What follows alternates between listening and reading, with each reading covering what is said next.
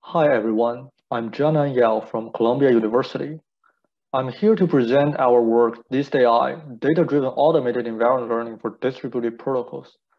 This is a joint work with Runzhou Tao, Ronghui Gu, Jason Nieh, Suman Jana, and Gabriel Ryan. Why do we need to learn invariants for distributed protocols?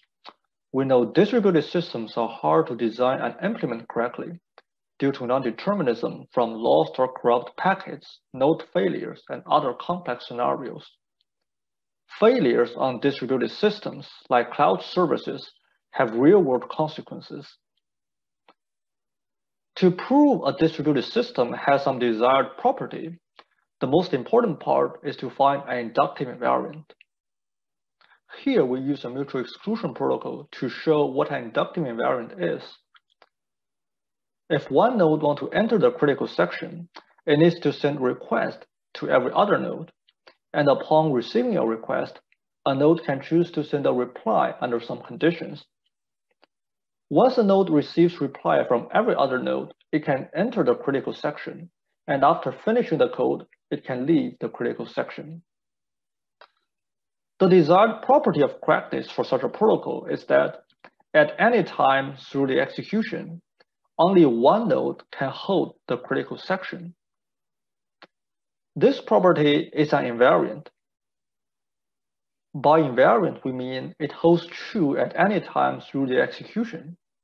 However, it is not self-inductive. By inductive, we mean starting from a state that satisfies the invariant and take some action, we should end up with a new state that still satisfies the invariant. Unfortunately, this correctness property is not inductive. And to make it inductive, we have to provide these two new invariants such that the conjunction of the property and the invariance is inductive. And then an SMT solver can prove the inductiveness and therefore prove the correctness of such a protocol. It is not a trivial task to find these invariants, Complex protocols may take many weeks for human experts to find the correct inductive invariants. There's a large body of work of verifying distributed protocols. Ivy provides a reasoning framework.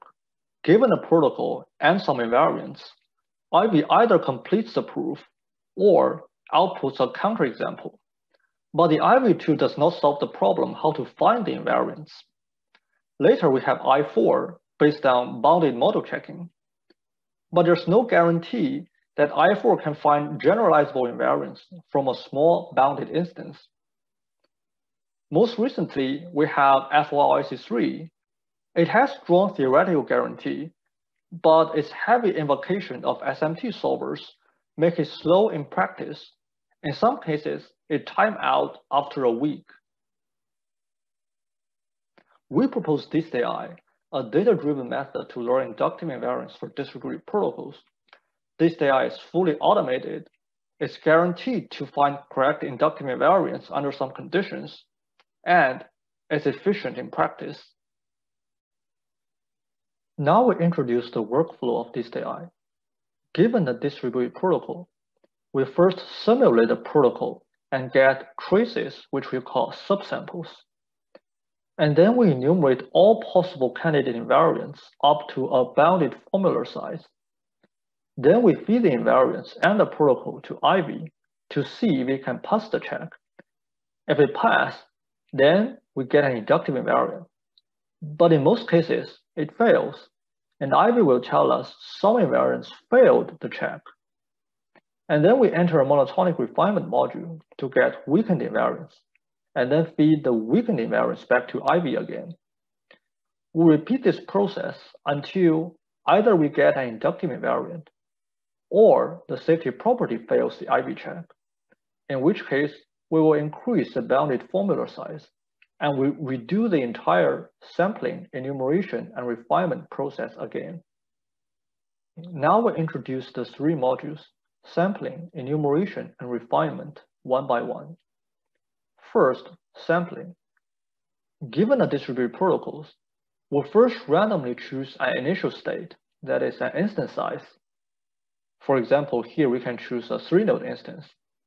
And then each time we choose an action to take. And we repeatedly do this until the protocol terminates. And then we choose another instance size and simulate the protocol again.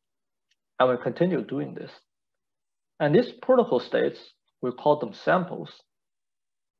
After we get the samples, we observe that real invariants typically only involve a small number of universally quantified variables. For example, in Ricart-Agrawala protocol, the invariants are simply referring to two nodes. No matter the protocol is deployed with three nodes or 10 nodes, every two nodes must satisfy some property, and that property is these invariants. So we introduce a novel subsampling procedure we randomly choose two nodes out of either three or 10 nodes and see what properties every two nodes satisfy. Given a template, which is a set of universally quantified variables, we project samples using variable mappings. For example, in a four node instance, requested xy is represented as a matrix so this zero value means requested N2 to N4 is false, so there is no request from N2 to N4.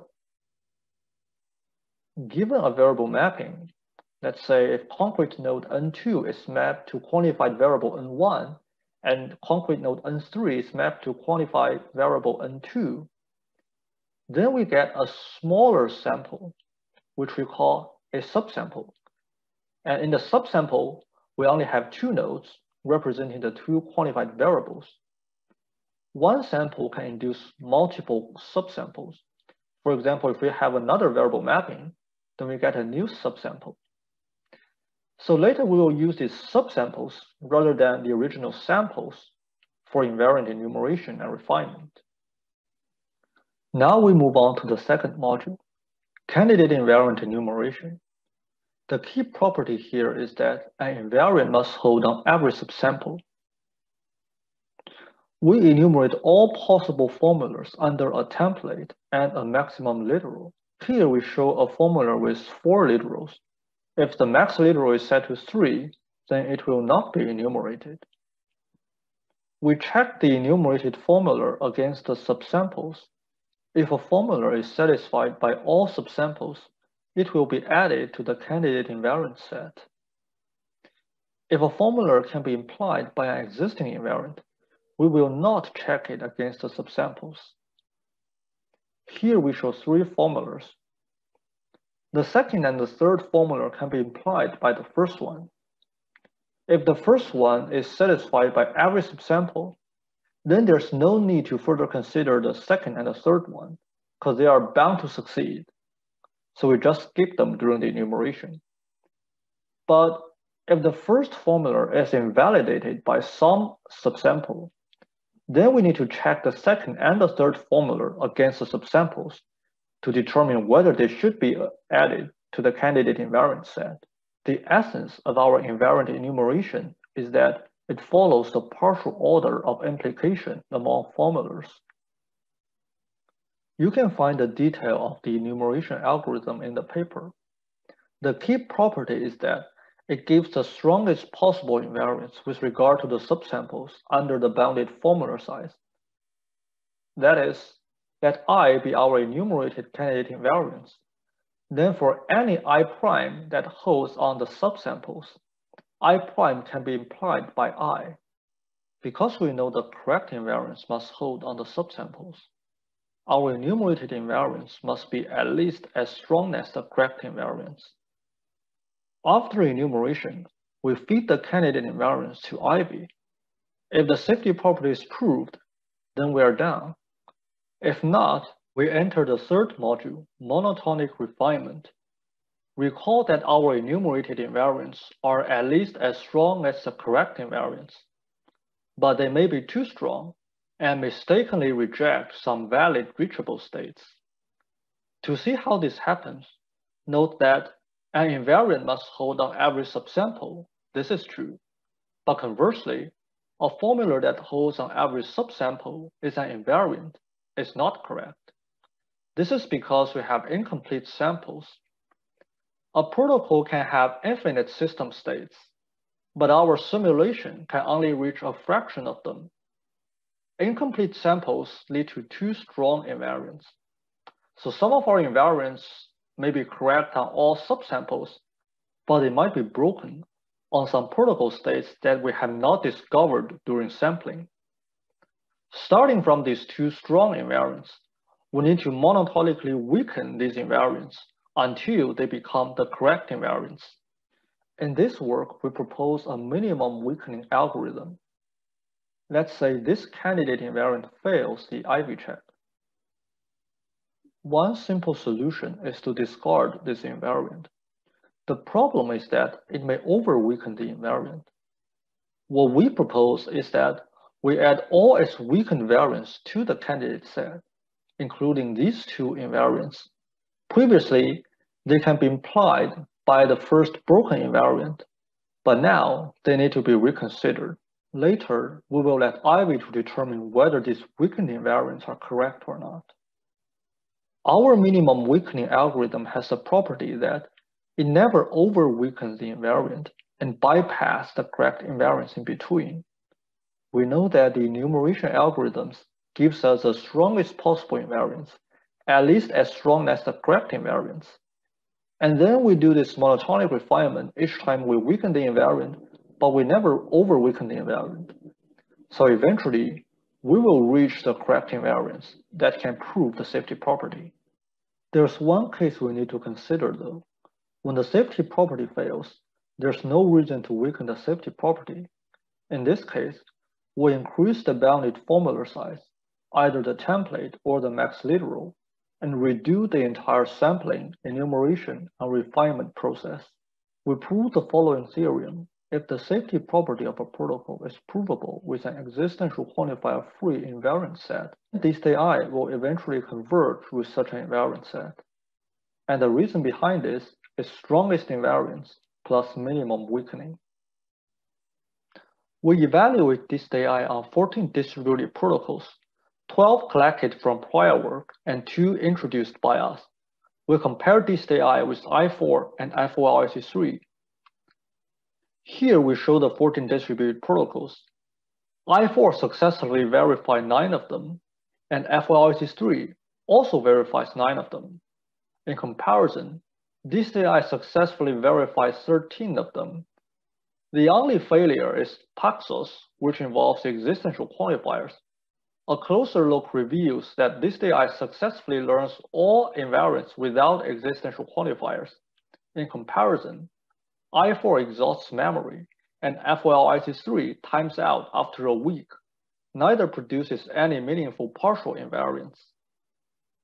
Now we take a closer look at the efficiency of each tool. The x-axis show the different protocols, and the y-axis show the runtime to solve them. We can see that DistAI is much faster than both I4 and FOIC3, sometimes by more than one magnitude faster. I4 fails on several protocols, which basically mean we encounter errors when running the tool. For FOIC3, although it's theoretically guaranteed to find the correct invariance, it times out on four protocols after one week. In summary, we present DistAI, a data-driven automated invariant learning system with two-stage sampling candidate invariant enumeration, and monotonic refinement. Compared with alternative methods, DistAI is fully automated, guaranteed to succeed without existential quantifiers, and much faster in practice. Thank you for listening.